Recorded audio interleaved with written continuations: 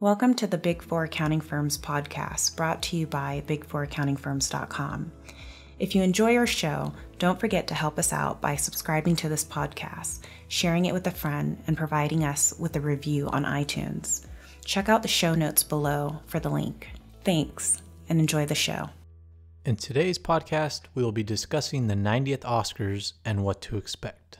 As you might remember, PwC screwed up last year's Oscars by handing the wrong envelope to Warren Beatty and Faye Dunaway. And PwC is in charge of counting the ballots at the Academy Awards every year. With last year's fiasco, this year there will be increased scrutiny on them, and hopefully they don't mess up. But with that being said, I wanted to go ahead and discuss five things that you can expect to see in this year's Oscars as it relates to PwC. First off, there are going to be new presenters. Last year's presenters were Martha Ruiz and Brian Cullinan, two partners at PwC. But since they were overseeing the fiasco that happened last year, they will no longer be there. This year's presenters will be Rick Rosas and Kimberly Borden. Rick Rosas is a veteran of the Academy Awards. He used to be the presenter for PwC for the Oscars for 14 years, as far as ballot counting goes. Another thing that you can expect from the PwC presenters this year is that they will not be tweeting during the Oscars. In order for PwC to maintain the account, they had to agree to not allow their partners to have cell phones during the Academy Awards. Since PwC was lucky enough to keep the account, I'm sure they were more than willing to throw their cell phones in the trash in order to keep the prestige that comes with presenting at the Oscars. The second thing that you can expect to see at the Oscars is additional controls around the process. PwC has mentioned that there are additional controls being implemented, and that Tim Ryan himself might have been involved in implementing these and brainstorming them, as if that would make a difference. And these controls include partners memorizing the actual winners in case the envelopes are wrong. And there will also be partners behind stage making sure that the right envelope is being handed to the right presenter.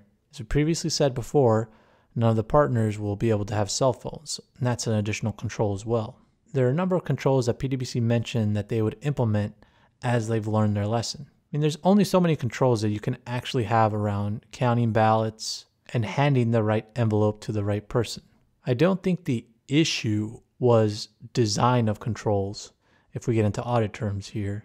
I think the issue was an operation of the controls because PwC was concerned with representing their brand versus making sure that the right envelope went to the right person and the ultimate winner was the right person. I think the control that needs to be put in place this year is a management over PwC's ego. It was the ego that got in the way of them getting it right last year. One thing to keep an eye out for as you're watching this year's Academy Awards is to see how these controls pan out and see whether PwC has any mishaps or errors. If PwC screws up again, then I think all heck will break loose. And I'm sure before the broadcast and during the broadcast, and probably even after the broadcast, there will be many people speaking about these new controls and interviewing the PwC partners to understand the new controls. Speaking of PwC partners, that brings us to the number three thing that you can expect to see at this year's Oscars. Another thing that you can expect to see from PwC at this year's Oscars is that Tim Ryan will be attending. Tim Ryan is the U.S. chairman of PwC. And as the U.S. chairman and being the chairman of all U.S. PwC accounts, he is responsible for this engagement as it is in the United States and it's a large account. He understands that the risk is so high that he has to be at the 2018 Oscars to manage the process and to manage PwC's reputation. And I'm also sure that the Academy Awards has personally requested that he be present for this broadcast and take responsibility for everything. And I'm very confident that the cameras will catch a glimpse of him or he'll be shown during the broadcast. Either that or they'll interview him during the pre show or post show. The fourth thing that you can expect from PwC this year at the Oscars is that there won't be much social media activity from them. Last year, PwC was so active on social media regarding the Academy Awards, it was extremely ridiculous. I mean, it was obviously ridiculous because what happened was that Brian Cullinan, the partner for the partner in charge of presenting the envelopes, was caught backstage on his phone tweeting. But I personally don't think that was fully his fault. Leading up to the Oscars, PWC was running multiple campaigns on social media about the Oscars. And we covered that last year on a podcast about how focused PWC was on branding themselves before the Oscars that they forgot how to do their job. On that podcast last year, we mentioned how distracted PWC was and how they might get the Oscars wrong. PWC even ran this social media campaign last year, which I thought was a joke. And it involved the ballot briefcase, which is supposedly this briefcase that PWC took around and kept all the ballots in. I think they even came up with a name for it. It was Briefy. And they had this ballot briefcase campaign on on Instagram where you had to guess where the ballot briefcase would be and where it end up with next. And it was going all over the world. And they ran this campaign under the hashtag ballot briefcase. In case you want to check it out on Instagram, the posts from last year are still up there. I think this concept was kind of ridiculous because there are important ballots in that briefcase that needed to be counted and safeguarded. And meanwhile, they're sending it around the world, and PWC kind of took this job as a joke and an opportunity to brand themselves versus worried about a client's needs. And I don't care if PwC has a fake briefcase with nothing in it and they're pretending there are ballots in it. If I'm a client like the Academy Awards, I don't want to see PwC showing their work materials all around the world. I don't want to see that nonsense. I would want PwC showing the ballot briefcase every day in a secure vault somewhere, locked up with the hashtag something like nobody has access to this. I don't want to see it with some brand new associate in Mexico who's holding the briefcase and drinking Starbucks with the briefcase. I want to make sure that it's secure. PwC was even running these campaigns on Snapchat and all their other social media accounts. They're just trying to be trendy to get new recruits. Another thing that PwC did last year was they had a, a social media campaign that promoted their pre show before the Oscars. And that's another thing that they won't be doing this year. They won't be having a pre show. They won't be promoting a pre show because PWC isn't the main attraction this year like they were trying to be last year. It's all about them doing their job. It's not about them branding themselves anymore. And that's one thing you haven't seen this year. You haven't seen any fun and games in the run up to the 2018 Oscars.